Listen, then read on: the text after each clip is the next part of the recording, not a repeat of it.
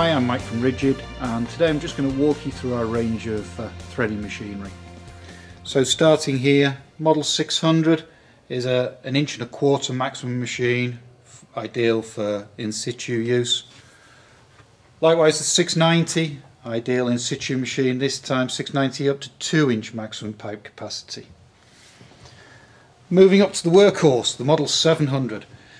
2 inch again, but a real workhorse. And then into threading machines. So we have the Model 1233. This is a 3 inch capacity machine mounted here on a folding stand, so ideal for taking on and off the job site. 300 compact, 2 inch threading machine on a wheeled stand. And then into the workhorses. So we have Model 535 machine, 2 inch capacity, ideal for the workshop or available with the automatic chuck. And lastly, up to the big 4 inch, the 1224 machine.